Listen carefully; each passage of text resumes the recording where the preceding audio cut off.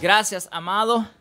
Eh, gracias al equipo de producción y gracias a la gente que nos ve. Miren, en estos minutos que me quedan, eh, o que quedan de programa, voy a decir la, o a repetir la denuncia que vengo haciendo desde temprano.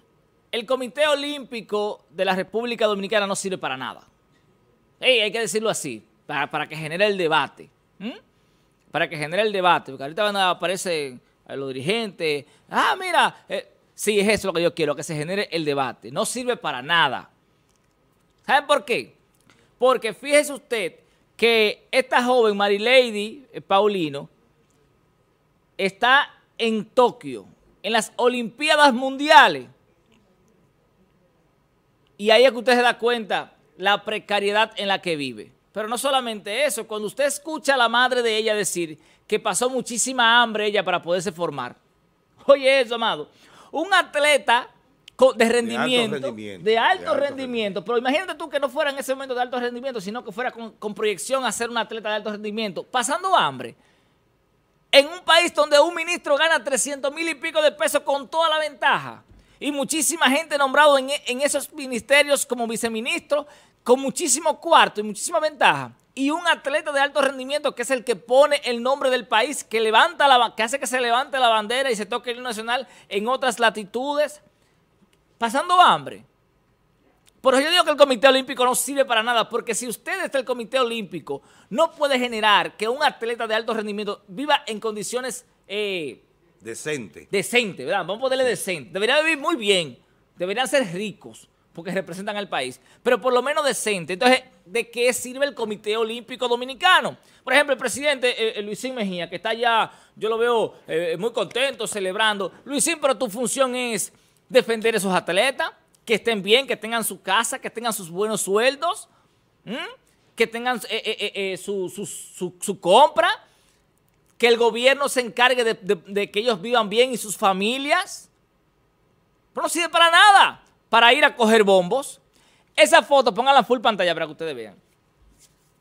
¿Quién está ahí? El ministro de, de deporte, el de e- ese que tiene, déjame ver, el de la, de la derecha de su televisor, de la camisa, eh, no veo el color. Decir, tiene, eh, eh, tiene eh, ¿cómo se llama esto? El puntero, la, la computadora. Miren, ajá. Vamos a ver, señálenlo. El de la derecha, de la derecha. Ese es el ministro de deporte. El de los lentes, ajá. Miren cómo una vez aparecen a tirarse fotos. De la Chacabana. Pero usted no apareció eh, para ir a- antes, en el tiempo que usted tiene, usted, usted debió ir donde esa gente y decirle, coño, ustedes se viven en malas condiciones. ¿Qué es lo que tú necesitas? Vamos a hacerte tu casa. Vamos a ponerte un buen sueldo. Vamos a hacer todo contigo para que tú te conviertas en un, en un deportista que si no puede conseguir eh, una medalla, por lo menos representarte el país dignamente, pero no lo hacen. Félix Sánchez fue porque básicamente se desarrolló en Estados Unidos y Luguelín Santos hace unos días se quilló con el ministro porque ni siquiera lo recibía. Ni siquiera lo recibía y tuvo que hacer un show para que lo recibiera. Entonces lo recibe. Pero miren a Luguelín ganando plata también.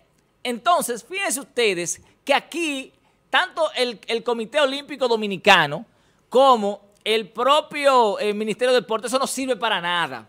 Eso no sirve para nada. Porque si no sirve para que nuestros atletas sean identificados y colocados en buenas posiciones y con buenos sueldos para que puedan representar el país, entonces eso no sirve para nada. No sirve para nada. Y se lo está diciendo una persona que fue dirigente. A mí nadie me puede hablar de caballá. Nadie. Porque yo dirigí deporte durante muchos años.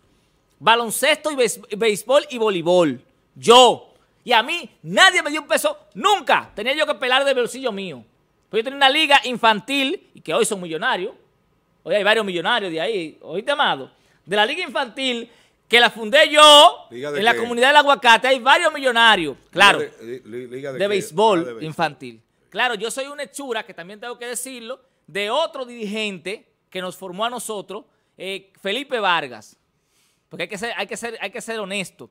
¿Quién me formó a mí? Felipe Vargas, en el béisbol. Yo nunca serví para nada en el béisbol. ¿Qué, ¿Cuál era el, ta- el talento mío? Que, que sabía hablar.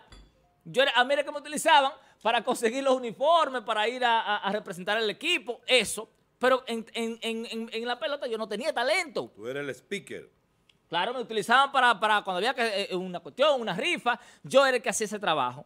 Porque yo no tenía, no tenía talento para la pelota. Entonces me convertí en dirigente. Y hoy esa liga que nosotros fundamos en, la- en la- en el aguacate dejó resultados.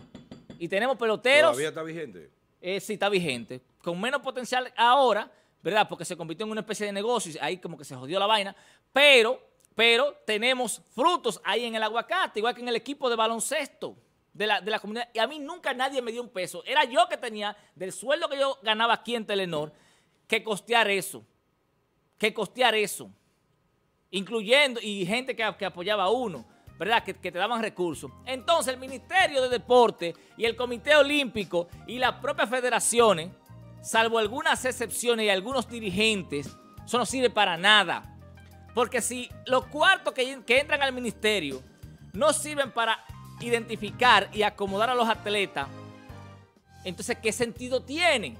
Búsquelo para que usted vea. En una ocasión hubo un judoka que ganó eh, eh, medalla en los Panamericanos. Y cuando fueron a la casa, era una casa cayéndose.